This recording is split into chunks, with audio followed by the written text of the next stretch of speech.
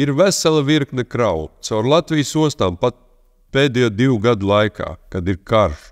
Joprojām iet desmitiem miljonu tonu kravu, un tās kravas nav Krievijas kravas daudzas. Ir Kazahijas kravas, Uzbekijas kravas, Ķīnas kravas, gan uz Kazahiju un Uzbekiju, gan no Kazahijas un Uzbekijas.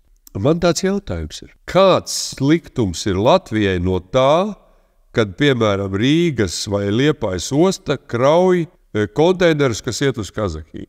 Jā, viņi iet caur, e, caur Krieviju, vispasaules loģistika. Un tā vienkārši pateikt, mēs visu aizslēdzam, kā mēs iegriezīsim Krievijai. Es vēlreiz gribu pajautāt, ja Liepājas osta krauj Uzbekijas konteinerus, kā mēs iezāģēsim Krievi. Mēs iezāģēsim sev liepais ostē, tas ir simtprocentīgi. Iezāģēsim uzbekiem, kuri